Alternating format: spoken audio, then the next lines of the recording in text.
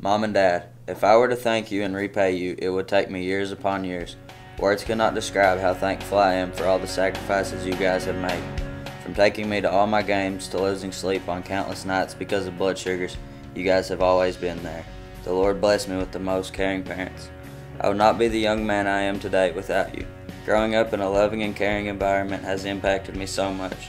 I hope to grow and be half the man as you and love and treat my wife and family just like you do, big man. Mom, I hope I have a wife much like you someday. Thank you guys. I love you so much. Love, Bailey.